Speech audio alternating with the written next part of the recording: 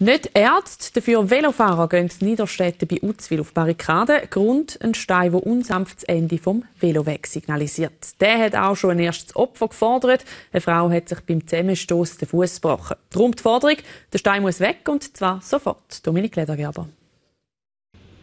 Der Stein bringt Velofahrer zwischen Schwarzenbach und Niederstädten in Rage. Weil hinter ihm die Renaturierung der Straße noch nicht abgeschlossen ist, geht der Veloweg an dieser Stelle abrupt zu Ende. Die Velofahrer müssen darum die Hauptstraße überqueren, vorausgesetzt, sie sehen das robuste Hindernis überhaupt. Eine unzumutbare Situation findet der Ottmar Sauter.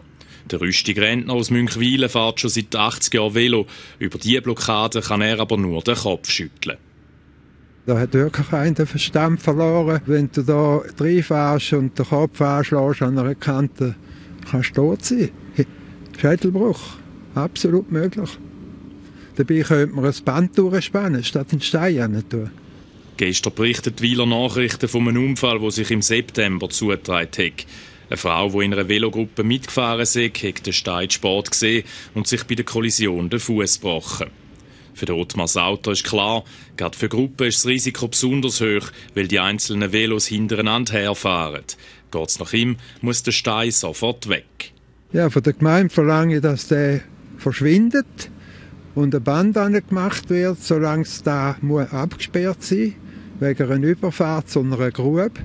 Und so ist mindestens Vorwegweiser, dass man weiß, was kommt. Nicht einfach am Stein äh, Leuchtkörper tun, Leuchtstreifen tun, dann ist man ja schon dort.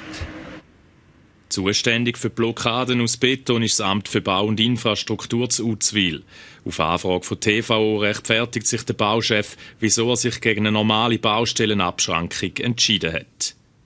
Der Stein wurde gesetzt, um den Radfahrer vor dem Lkw-Verkehr der ehemaligen Kiesgrube zu schützen. Eine einfache Variante mit Absperrmaterial wäre bei dem schweren Baustellenverkehr sicherlich nicht lange an Ort und Stelle geblieben. Ein Dorn im Auge ist der Stein auch im Verein Pro Velo Wil.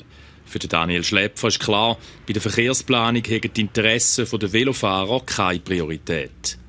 Sie werden aufgenommen, aber sie werden sehr oft äh, verzögert behandelt. Also das heisst, wir warten, bis ein Strassenbauprojekt ist und dann tut man da von den Velofahrern mit einfließen lassen. Aber dass wir mal anwürgen und sagen, und jetzt wollen wir da einen durchgehenden Veloweg und den jetzt einfach mal machen, egal welche Straßen noch in Planung sind, das wird selten gemacht. Entfernt wird der Stein frühestens nächstes Jahr. Bis dorthin mahnt das Uzwiler Bauamt Velofahrer zur Vorsicht.